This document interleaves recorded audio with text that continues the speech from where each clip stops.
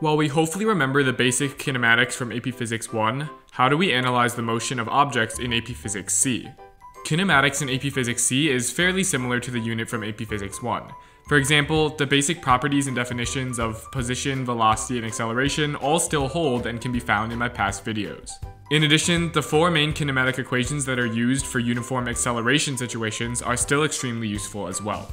The main difference when it comes to 1D kinematics in AP Physics C is that the acceleration does not have to be uniform. In other words, the position, velocity, and acceleration equations as functions of time could be anything at all. For this reason, we'll need to redefine some of our basic equations. To begin, we learned in AP Physics 1 that velocity was the rate of change of displacement and acceleration was the rate of change of velocity. Using the calculus equivalence, velocity will now be defined as the derivative of position with respect to time, and acceleration the derivative of velocity with respect to time.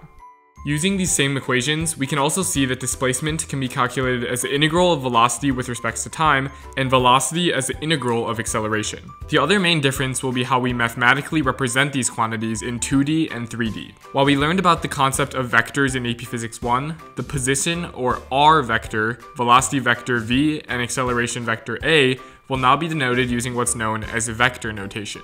In this notation, the x, y, and z components of these quantities are written separately. This can either be done using brackets and commas, or using the unit vectors i hat, j hat, and k hat, where each one is a vector of magnitude 1 in the direction of the x, y, and z axes respectively. For example, this velocity vector here would represent a velocity with x component 5 meters per second, y component negative 3 meters per second, and a z component of 1 meters per second. And this position vector would represent a point in space positive 4 units in the x direction, 0 units in the y direction, and negative 2 units in the z direction.